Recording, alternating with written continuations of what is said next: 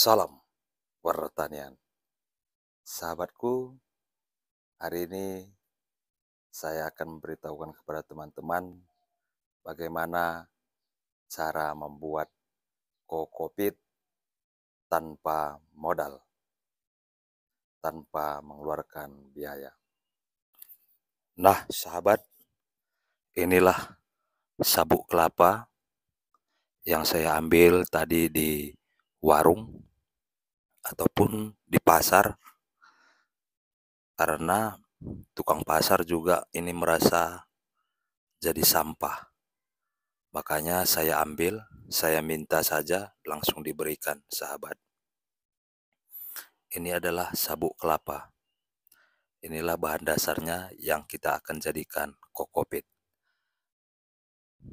Langkah pertama yang kita lakukan karena ini berasal dari pasar, maka mungkin ada nanti yang basah, perlu kita melakukan penjemuran sahabatku.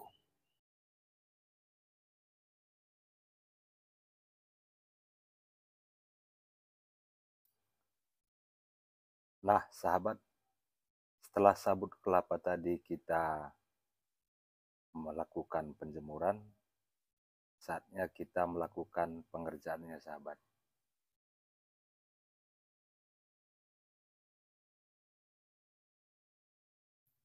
Ini sahabat, sabut kelapa yang sudah kita jemur tadi.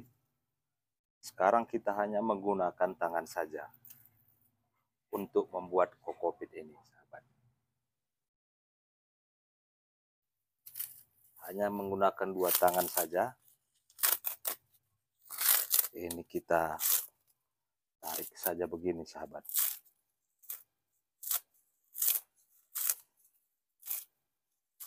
kita tarik-tarik saja. Mengapa tadi kita melakukan penjemuran? Karena apabila sabut kelapa ini kering, dia lebih enak pengerjaannya, sahabat. Kita menyobek-nyobeknya saja begini menggunakan tangan, sahabat.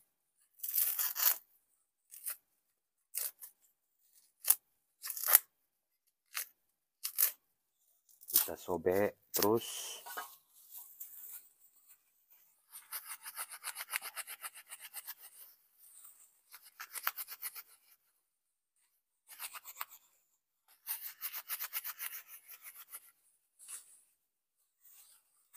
lihat sahabat. Kokopitnya langsung terpisah. Kita kucak-kucak begini sahabat. Seperti menyuci.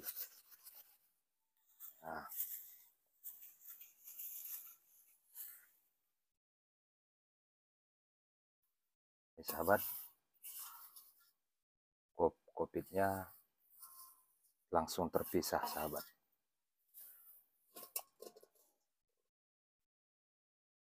jadi begitu cara pembuatan kokopit sahabat. Kita hanya melakukan kedua tangan kita. Jadi kokopit ini sangat bagus untuk media tanam, apalagi untuk media cangkokan. Saya menggunakan kokopit ini untuk mencangkok. Kokopit ini akan saya campurkan sedikit tanah, kemudian itulah yang saya gunakan untuk mencangkok tanaman saya, sobat. Jadi yang paling penting sahabat, COVID ini bisa kita dapatkan secara gratis hanya dengan mulut saja. Karena para penjual kelapa di pasar, sabut kelapa ini mereka menganggapnya ini adalah sampah, sahabat. Jadi nantinya juga mereka akan buang mereka akan buang ini, sabut ini, ataupun mereka bakar. Sehingga bagi penjual kelapa di pasar ataupun di warung, ini dianggap adalah sampah. Nah, Untuk itu, para kita pecinta tanaman, ini sangat berharga sekali bagi kita.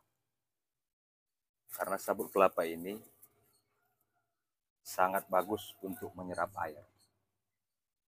Apabila kita gunakan untuk media tanam, daya serap airnya bisa mencapai enam kali daripada tanah. Sehingga tanaman kita tidak gampang kering, sahabat. Perlu saya beritahukan kepada teman-teman, kita hanya bermodalkan ucapan saja, hanya bermodalkan mulut untuk mendapatkan kokopit gratis ini. Nantinya kita beritahukan ke pedagang pasar supaya sabut kelapa ini dikumpulkannya. Mereka juga senang sahabat mengumpulkan ini, ketimbang jadi sampah di kios mereka. Jadi kita mintakan dikumpulkannya, kemudian nanti kita ambil sabut kelapa ini. Kan enak teman-teman. Udah nyuruh, eh udah minta, nyuruh lagi supaya dikumpulkan sabut kelapa ini. Saya teruskan dulu pekerjaan saya sahabat. Kita hanya merobek-robeknya saja sahabat. Setelah kita merobek merobeknya kecil-kecil begini, sahabat, kemudian kita kucak begini sahabat.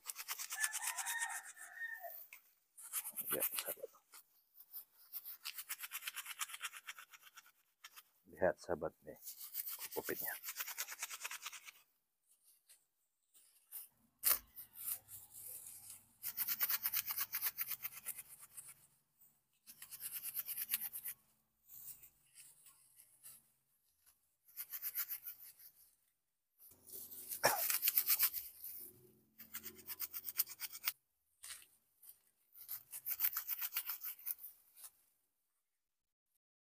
Demikianlah sahabat uh, informasi ataupun berbagi yang dapat saya bagikan kepada teman-teman cara membuat kokopit dengan kedua tangan kita, begitu juga tanpa mengeluarkan biaya.